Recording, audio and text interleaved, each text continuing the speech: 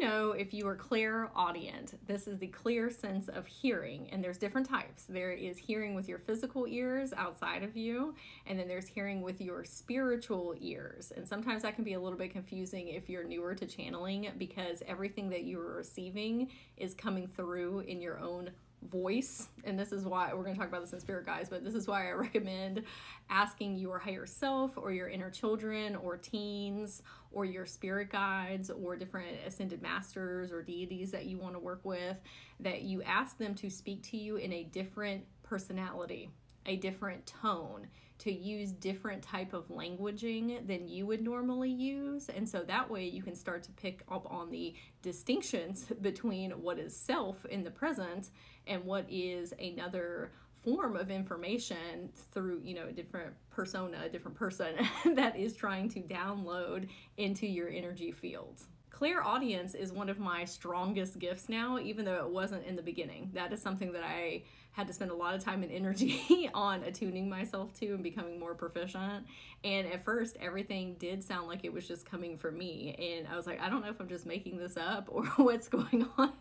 But when I asked, all of my team, spirit team, and whatever that means for you to speak to me in different types of ways, it helped so so so so much because I could pick up on this is a lot different than my core personality. These are things that I wouldn't typically say, you know, like positive things, but just in a manner that is not coming from this sage right now. and that is in the same context for working with clients. You might hear all of the information coming through in your own voice, but when you learn how to uh, pick up on these distinct differences between personas, so much easier but you have to ask you you always have to ask things like this because spirit guides uh, inner children teens um, your higher self ascended masters deities they're not going to do anything to step on your free will.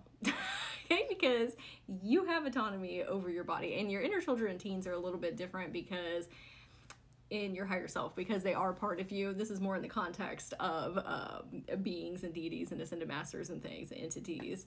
You, you have to ask uh, what you want of them and give them permission and so that they can come in and speak to you in different ways. You got to give them directions.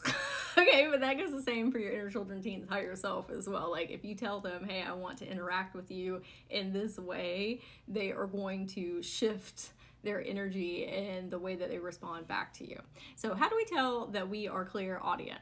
You can hear whispers from the spirit world or the ethers, like conversations or whispers, even when there's nobody around you.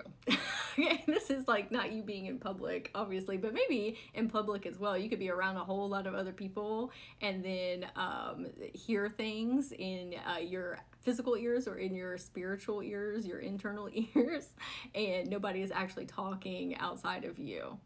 And we can get into some things about telepathy, of you being able to read people's minds or hear the things that they're saying within themselves, even if they're consciously aware of it or not. A lot of empaths and light workers are able to pick up on people's thoughts, feelings, and emotions, but also things that are going on in their sub conscious. You can hear the uh, depths within them that they may not even be privy to.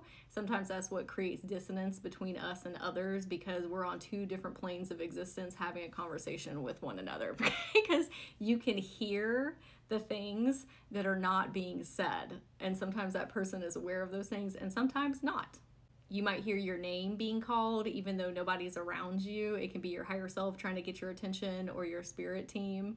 You also receive a lot of guidance through music. You receive wisdom or intuitive insights through the form of words or phrases. You experience a lot of ringing or buzzing in your ears. Now, I'm not a medical doctor.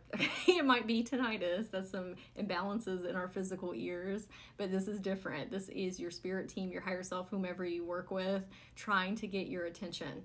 They're saying be more present, or they're trying to say, what were you just thinking about? Maybe we need to adjust our thoughts or adjust our emotions.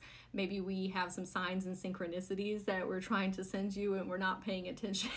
so that takes some work on your end of paying attention to when the buzzing or the ringing is going on in your ears of okay what was i just thinking about am i being present what is happening around me right now are they trying to send me a download maybe i need to take a moment of peace with myself even if it's 5 or 10 minutes and figure out what they're trying to send me you can hear conversations from different realms and dimensions. This happens a lot when I'm doing multidimensional chakra scans. I'm going in with the intention to connect with my client, but oftentimes that client's, you know, different timeline versions when I'm meeting them in the ethers, they're in these public places that aren't necessarily on earth or they're having conversations with their families. Uh, in the uh, etheric realms, and I'm kind of a bystander over here, and I can hear uh, the conversations that these other beings are having on these different planes of existence. You hear messages in your dreams. You are more of a listener than you are a talker with other people or in conversations. But on the other end of that, you talk to yourself a lot. it can either be out loud or in your mind. I am very much more of a listener than a talker. I like to be the observer in situations so I can get the grand scope of what is happening, not only in relation to me, but in the context of people or groups around me as well, because I'm able to glean a lot more insight about said persons or situations by listening and sitting back and taking on that observer role and hearing the things that are not being said vocally. You might be really sensitive to loud noises or busy environments. You can hear plants, animals, and trees talking to you. You tend to use the words I hear in conversations, such as, What I'm hearing you say is.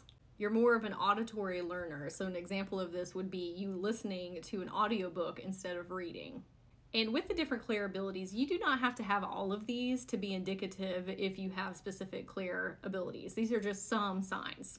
there are so many, and everybody's gifts and abilities are going to look very different from, from one another. But these are a great jumping point to help you become more aware if you have these gifts innately, or maybe they are like, oh, I really want to have these. These sound super fun. uh, maybe I'm not as proficient in some of them, but I could be if I put in a lot of time and practice. A great way to develop clairaudience is to listen to music that has a lot of different instruments or components to it.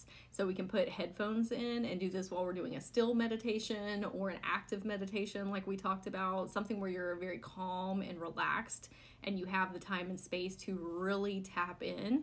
And what we're going to do is listen to all the different layers of the sounds and try and pick out specific instruments or components of that music and dial, hone in on that very specifically and try and make it the loudest thing that you can hear. You can also do this out in nature because there's always, you know, tons of sounds frogs, birds, the wind rustling, and people crunching leaves as they're walking by. Uh, but trying to identify very specifically each sound, and that's going to help you attune your physical ears and also your spiritual ears. And also ask your higher self or your guides, your spirit team to send you insights or downloads while you're listening to music or watching TV shows or uh, cartoons or movies while you're listening to sound baths or guided meditations.